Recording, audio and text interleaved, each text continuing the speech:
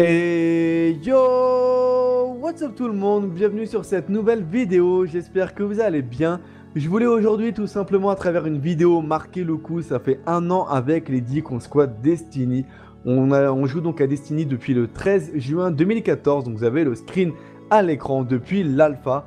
Euh, voilà, donc on a squatté l'alpha, la bêta et bien évidemment le jeu depuis sa sortie. Alors pour information, devant vous, vous avez le gameplay de Lady qui découvrait donc l'alpha, ses premiers pas sur l'alpha. Voilà, c'est plutôt sympa. Euh, donc il faut savoir hein, que Destiny a été pour nous euh, vraiment une révélation, vraiment un, jeu mais qu'on a kiffé depuis le début, un jeu qui évidemment aussi nous a fait progresser sur YouTube. On a vraiment notre chaîne a vraiment pris un gros coup de pouce grâce à Destiny. C'est notamment aussi un jeu qui nous a permis hein, d'aller pour la première fois sur le sol américain, de pouvoir franchement la visite des studios de Bungie, ça restera un truc incroyable avec Lady. Je pense qu'on n'est pas prêt de l'oublier. Voilà, et donc à travers cette vidéo, je voulais tout simplement vous raconter, moi, mon meilleur souvenir jusqu'ici sur Destiny, et je voulais euh, évidemment que vous partagiez le vôtre dans l'espace des commentaires.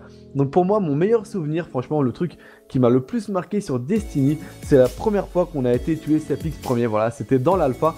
Il faut savoir que dans l'alpha, on pouvait monter au niveau 8, grand maximum, il n'y avait que le Cosmodrome qui était donc disponible avec la cerise sur le gâteau, l'assaut donc de Sepix premier. Donc c'était vraiment un truc de ouf quand on lançait ça à l'époque. Il nous fallait, ouais, il nous fallait bien une heure et demie devant nous. Voilà, on n'était pas rodé, c'était nos premiers pas, on n'était vraiment pas encore habitué au mouvement des personnages.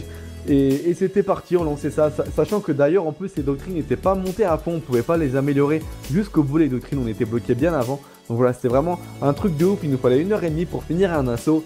Donc la première fois qu'on a tué le Ténébrion et la première fois qu'on a fait tomber Sexpix premier, vraiment ça restera un souvenir incroyable. N'hésitez pas à me partager votre souvenir dans les commentaires, j'ai hâte de lire tout ça.